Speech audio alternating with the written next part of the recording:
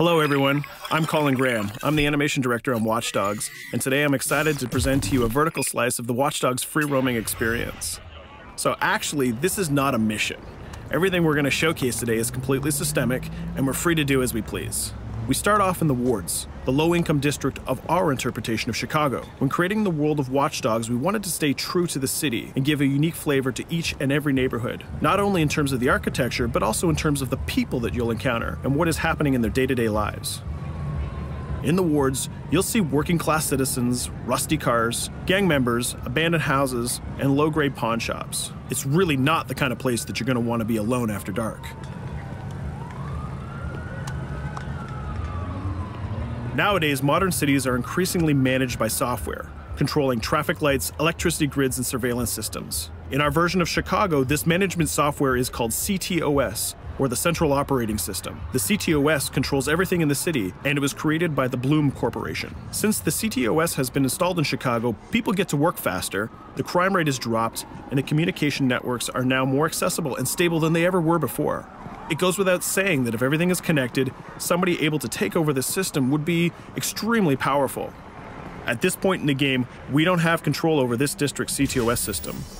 The icons that you see over people's head mean that we cannot hack into their mobile devices at the moment.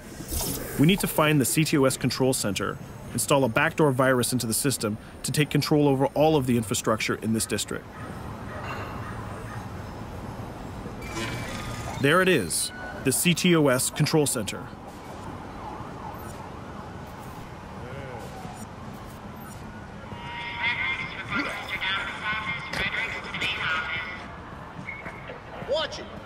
Someplace you got no It's heavily guarded. Let's see if we can find the server access codes from a distance. With cameras, we can explore restricted areas without being spotted, tag different guards, and access details on their lives. What the hell's she doing with that weasel motherfucker? Up- It seems that Blume employees all have a sort of shady past. There it is, the access code to the server room. Unfortunately, we can't access the server via the cameras. We need to sneak inside. One thing that was really important to us when we designed Watch Dogs was to fully support different player styles. Every situation in the game can be tackled the way the player sees fit.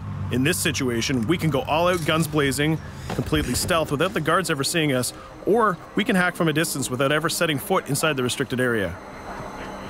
Let's hack this forklift. Aiden can use the environment to distract and lure guards. Pretty much anything you hack has multiple functions. So, for example, you could use this forklift to access the roof, or you could use it to create cover. Hacking in Watch Dogs is all about player expression. Let's set an improvised explosive device so we can hack it a little bit later.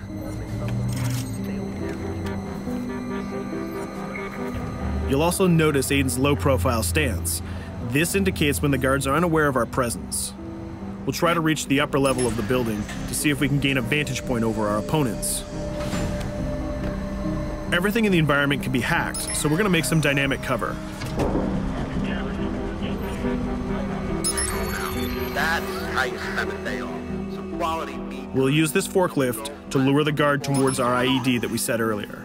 Let's see how this plan unfolds.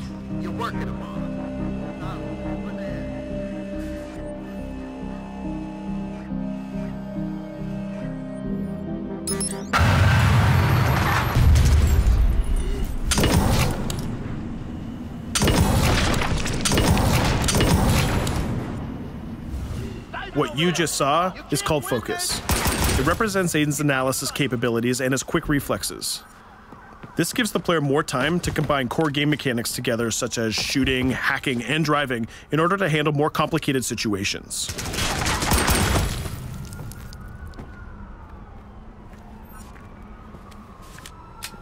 Now we can access that control room.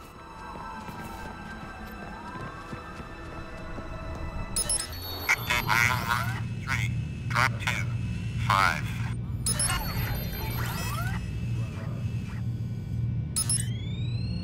Now we'll be able to hack all of the devices connected to the CTOS within the districts. Thousands of cameras, traffic lights, the electricity grid, and most importantly, all of the citizen information profiles. We can also benefit from the Chicago Police Department Crime Prediction System, which uses facial and pattern recognition to spot potential criminals or potential victims. Since this is a pretty rough neighborhood, I'm pretty sure we're going to stumble on some suspected criminal activity pretty soon. And there it is. The system just pushed an alert of a potential crime. We can see the system trying to triangulate the location on our minimap. Take note, this isn't a mission. This can happen anywhere at any time. We've just spotted a potential victim. It's always up to the player if he wants to investigate or not, to take action or not. So let's see how this turns out. Yeah, you're right. Could I just...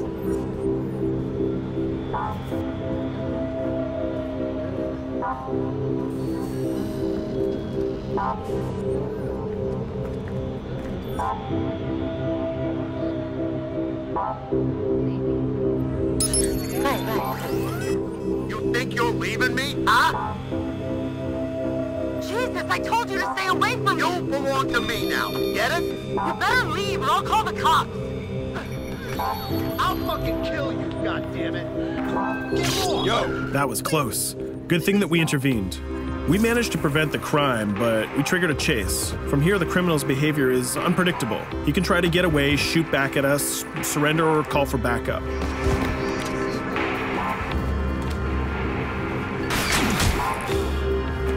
Seems like he decided to get away by car. Let's chase him down. In Watch Dogs, we have a wide variety of vehicles. Each one of them has their own unique properties and handling. Let's see how we can use the CTOS to our advantage to neutralize this criminal and leave the cops to deal with him later.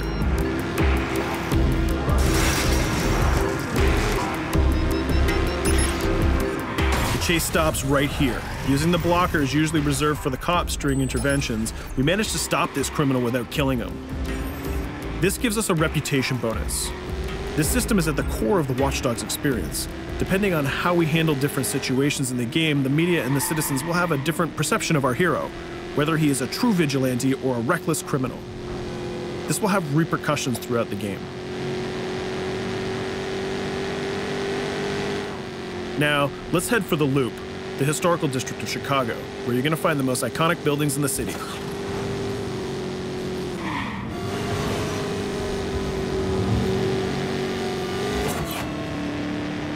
We're going to go to a gun shop to see what arsenal is available for players.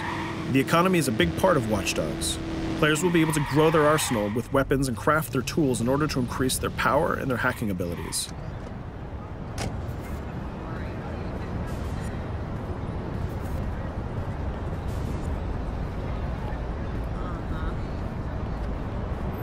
No, it's okay.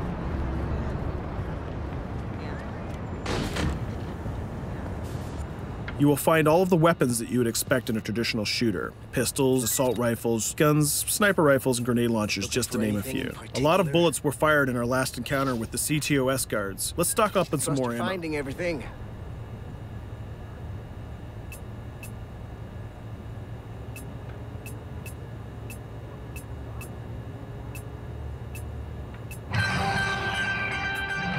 As we mentioned earlier, the media keep track of your actions and the citizens are going to react according to the perception that they have of you. Here, the media is reporting a crime in which you are the number one suspect. The gun shop owner recognized you and decided to trigger a silent alarm to notify the police. Copy that. Possible one suspect presumed armed and dangerous. Police are now trying to locate the source of the threat using the surveillance system in the city, represented by the yellow circles on the minimap. Come in, PH3.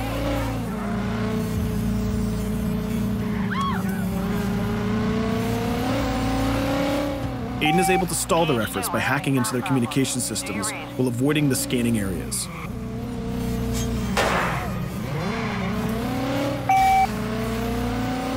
PH units, do you copy? Repeat, squad to all PH units. Once they've lost our trail, we can go back to our activities.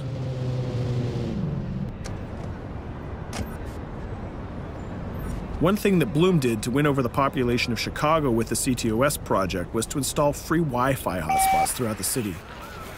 Free Wi Fi is cool, but not very safe with someone like Aiden Pearce around. Hacking into this box is going to give us access to every device that's connected to it. So let's see where that brings us.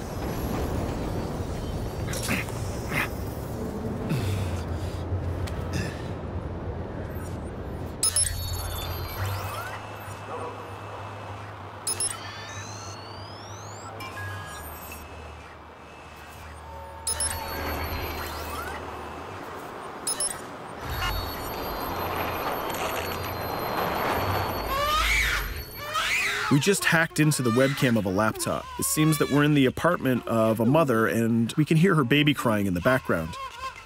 Her bank information is in her mobile phone sitting right there on the table in front of us.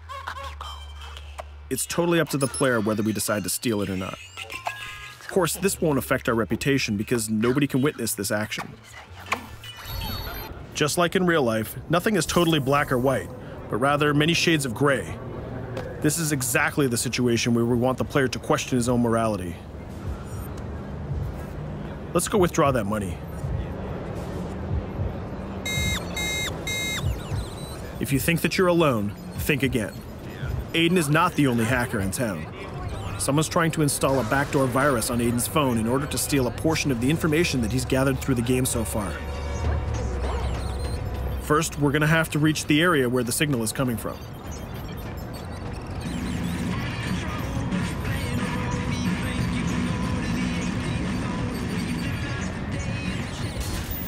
Using our profiler, we're going to try to identify the hacker before the installation finishes.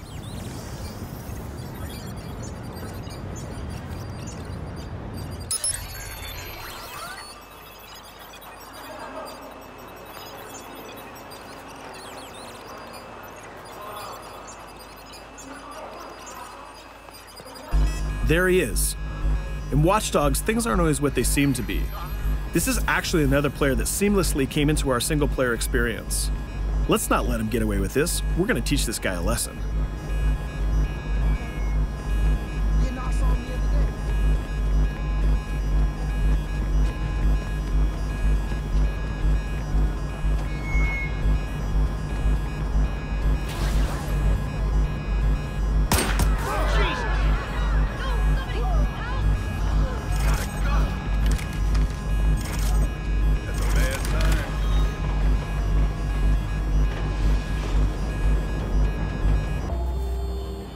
We stopped the hack, but the hacker managed to get away. I don't know about you, but we can't let this pass by. We need to retaliate. Using the grid, let's see if we can find that second player. There he is. Let's enter his game seamlessly.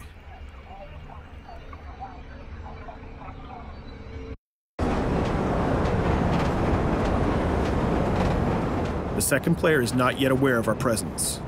If we act carefully, he might think that we're one of the many NPCs in the city.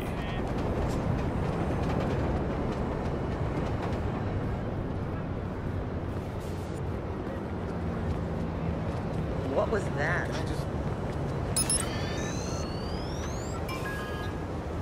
So let's find a place to hide and start hacking.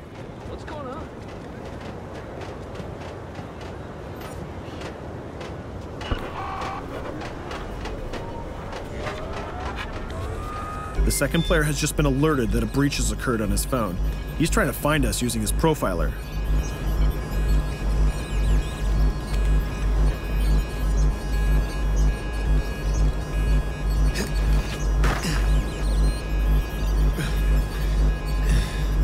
He's dangerously close. Let's hide in the car. We're spotted. Let's get out of there.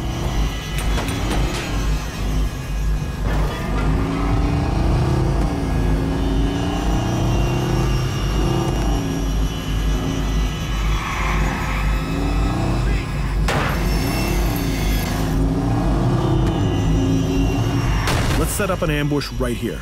By dragging the other player back here into the alley, we make sure that no civilians get hurt during the firefight. We didn't succeed in hacking the second player, but we did get a little bit of revenge. So that's what we have time for today. We hope you enjoyed our quick gameplay session. Stay tuned for more about Watch Dogs.